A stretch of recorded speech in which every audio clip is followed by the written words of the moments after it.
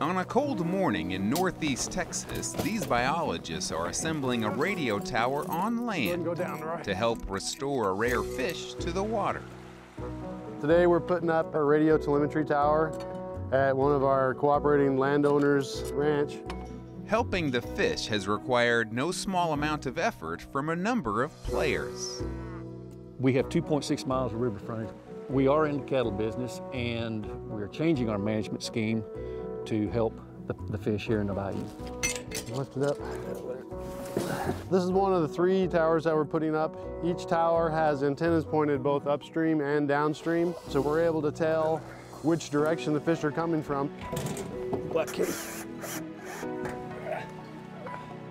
That way, high enough, or you can roll it. So why would ranchers, nonprofits, and government agencies go to all this trouble for a fish? I've never seen a paddlefish. Especially a fish most folks have never seen. Well, the paddlefish is one of a kind. Paddlefish are very unique. They're kind of the hodgepodge of the fish world. They have no scales like a catfish. They have a skeleton made completely out of cartilage like a shark, but yet they're a filter feeder like a whale. They may look like mythical creatures, but Wayne Heaton sees paddlefish every day at the Texas Freshwater Fishery Center just down the road in Athens. I love these fish. They're my favorite fish here. And most people, when they walk up to this exhibit, have no idea what these fish are.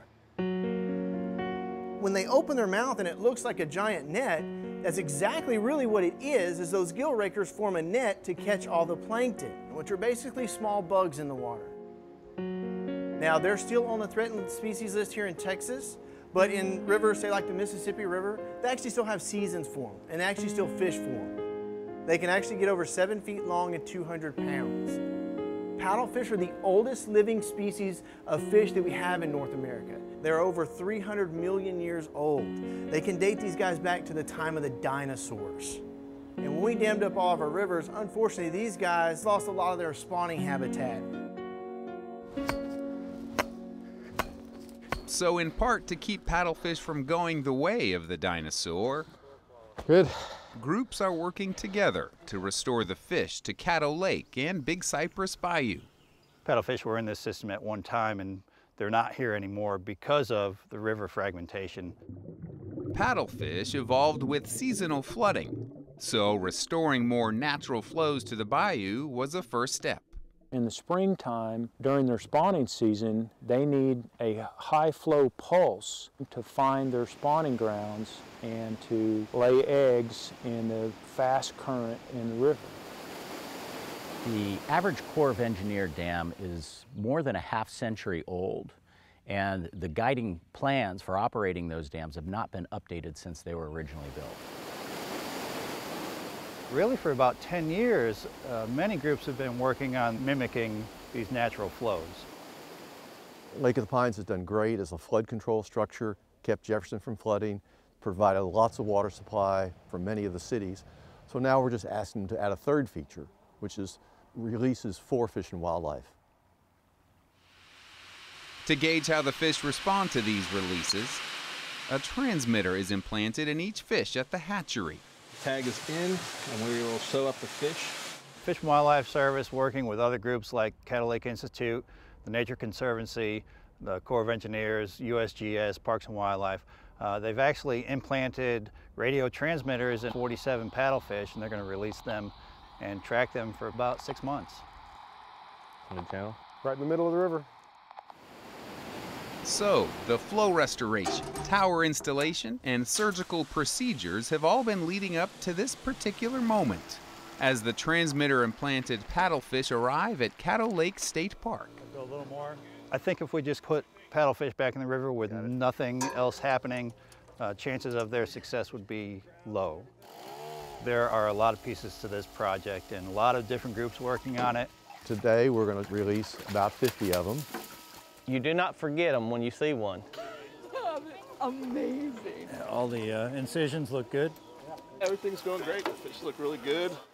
They're going to find things to eat and they're going to grow and hopefully thrive. One by one, paddlefish are reintroduced to the bayou. At the state park and several miles upstream in Jefferson.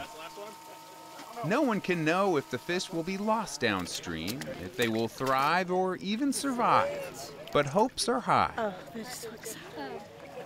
It's really gratifying to, to, to see this day come. We, we've all been working at it for, for many years and, and to see this release happen today and it's just a good day for the fish and a good day for East Texas and Caddo.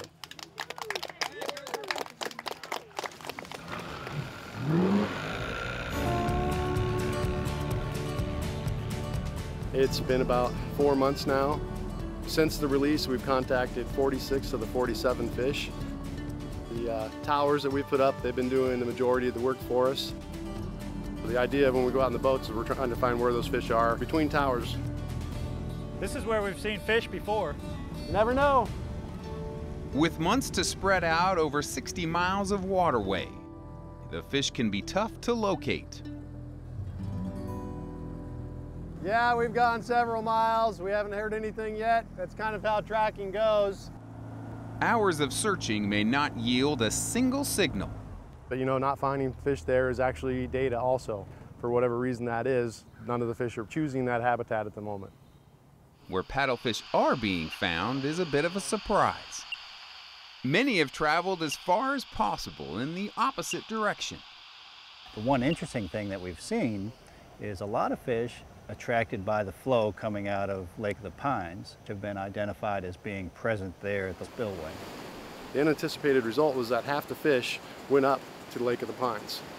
We see little glimpses of things we think might be important, but in another two months we might go, well, this is why that happened, but now they're doing something else. So we've got a little snapshot of what the paddlefish needs, and we really need the bigger picture of what the paddlefish needs. We're about halfway done. But as the tracking and data collection continue, it is already clear this cooperative effort will benefit more than just one fish. I think the paddlefish is a means to an end. I mean, we like to see the paddlefish in here, obviously, but that in turn helps a lot of other species, a lot of other things in the environment, so it's a win-win. It is also a win-win if one threatened fish can teach us how to better manage such a complex and beautiful ecosystem.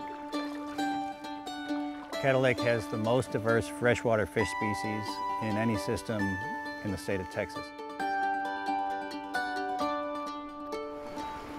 All the other species that rely on natural river flows and good river habitat are going to benefit from this project. It's just one part of a much, much bigger picture.